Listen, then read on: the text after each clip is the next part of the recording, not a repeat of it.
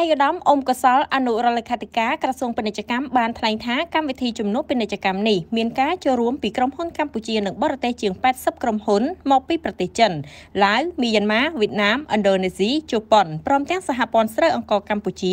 សមាគមពាណិជ្ជករជាតិនិងអន្តរជាតិក្រុមហ៊ុនទាំងនេះបានចូលរួមតាំងបង្ហាញនៅផលិតផលជាច្រើនរួមមានស្រូវអង្ករដំឡូងមីម្រេចចេកអំបូងលឿងមានបៃលិនស្វាយចន្ទីអំបិលស្ករត្នោតសម្បុកទឹកមាត់ត្រចៀកកម្មដំណាប់ស្វាយទឹកឃ្មុំកាហ្វេកាកាវគ្រឿងទេសគ្រឿងសំណង់និងសិប្បកម្មតម្បាញជាដើមដោយឡែកជាផ្នែកមួយនៃពិព័រណ៍ផលិតផលខ្មែរនិងទំនិញនាំចេញនាំចូលកម្ពុជានាថ្ងៃទី16ខែធ្នូនៅសន្តាគារកម្ពុជាយ៉ាណាកម្ពុជាក៏បានរៀបចំវេទិកាធរកិច្ចនិងវិនិយោគកម្ពុជាឥណ្ឌូនេស៊ីក្នុងគោលបំណងផ្លាស់ប្ដូរនិងស្វែងរកឱកាសចាប់ដៃគូពាណិជ្ជកម្មក៏ដូចជាស្វែងរកទីផ្សារសម្រាប់នាំចេញផលិតផលនិងបង្កើនពាណិជ្ជកម្មរវាងប្រទេសទាំងពីរវេទិកាធរកិច្ចនិងវិនិយោគកម្ពុជាឥណ្ឌូនេស៊ីនេះមានការចូលរួមពីពាណិជ្ជករនិងវិនិយោគិនកម្ពុជានិងឥណ្ឌូនេស៊ីចំនួន120រូបដែលរួមមានវិស័យស្រូវអង្ករដំឡូងមីម្រេចមានបៃលិនស្វាយចន្ទីសម្បុកត្រជាកម្មស្ករត្នោតអំបិលផលិតផលសូត្រគ្រឿងទេសថ្មក្រានីតកាហ្វេនិងកាកាវផលិតផលកសិកម្ម